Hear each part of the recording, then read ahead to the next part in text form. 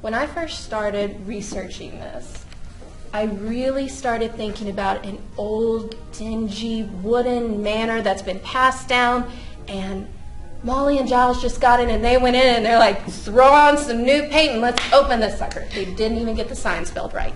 Mm-hmm. so, when they went in, they made it look pretty, but maybe they didn't find all of the hidden passageways.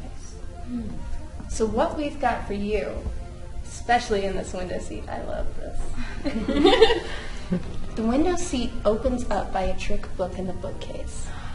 Oh my gosh, that's so awesome. So an actor will pull on the bookcase, cue technicians, and the window seat will open up and you can hide through it. First off, I have Molly and Giles. Um,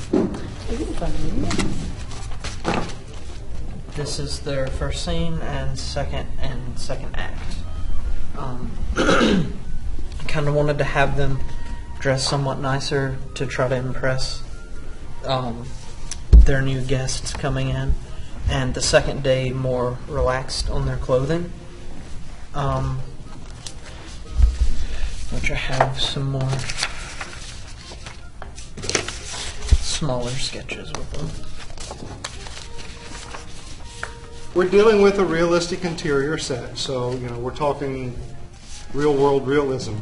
Uh, but one of the things that I enjoy about this play is that uh, we can take a little bit of a liberty with it, and so we're going to have some realism in. But um, one of my favorite whodunit movies is Curse of the Jade Scorpion by Woody Allen. It's actually one of the few Woody Allens I really like. Um, and it has this great sort of very classic, uh, if you've ever watched any of the old black and white 1940s movies, it has this, they were all sort of dominated by this really strong sense of backlight and rim light because the cameras back then, the depth of field, you, you needed a lot of backlight to pull the actors out of the set. So I thought it would be fun if our world sort of had that same sort of classic 1940s whodunit character to it.